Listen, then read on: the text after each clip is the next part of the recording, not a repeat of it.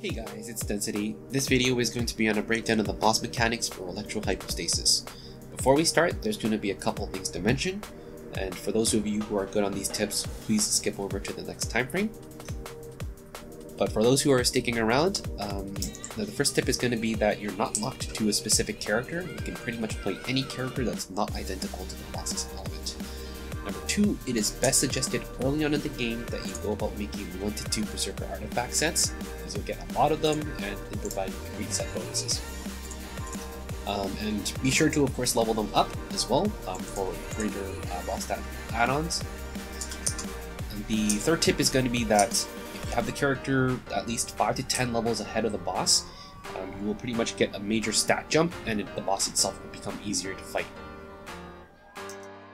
Okay, so starting out with the fight, I've got Chongyun and Xiangling. So not everyone's going to have this, of course, but uh, anyone that has a great sword or a bow that has charged abilities, that can charge up elemental abilities, uh, or even using alts of a specific character like Xiangling, um, like a Pyronado, is very useful at the end of the fight boss at the start of the fight does a common triple attack pattern. It can be dodged by doing multiple quick dashes that give invincibility frame. The closer you are to the boss, the higher the chances of his animations to cancel. Bear in mind that you do not need to hold down the sprint key as this drains your stamina and can be saved for later attacks from the boss. When the boss is exposed as he is in this form with no cues around him, this is an opportunity to attack him, otherwise he is invincible. The drill form that he takes in Shape of is also dodgeable move pretty much in the opposite direction and you're good. When the boss is up in the air shooting cubes at you, you can just walk in either the left or right direction and the boss is also vulnerable to attacks. Notice that the only mage classes like Mona can take advantage of this when soloing.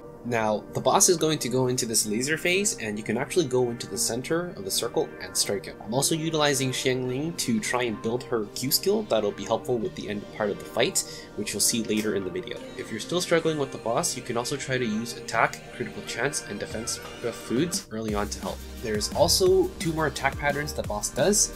The first one to mention is where he becomes stationary, which you'll see here. And you'll see pillars drop down all around you to the fire. You can get out of this by breaking the pillars with physical attack from a sword or a claymore that has improved elements. The earlier you get out, the better. The second attack pattern is a spiraling wave that goes out from the center of the boss's location. This is only avoidable by running further away from the boss and to watch out where those waves may hit you. Last of all is the recovery phase when the boss has a slither of health and he'll try to regenerate his HP by dropping down 3 prisms that need to be destroyed. I hated this at first, but to be finding it okay now going forward. The less of the prisms that remain, the lower the health regeneration. To break the prisms are a little difficult and is done by the combination of physical attacks with an element, this should destroy the prisms, and it is best advised to do bigger damaging skills to knock out the prisms Alright, so that concludes the video and I appreciate you guys watching. If you guys liked the video, please hit the thumbs up and subscribe.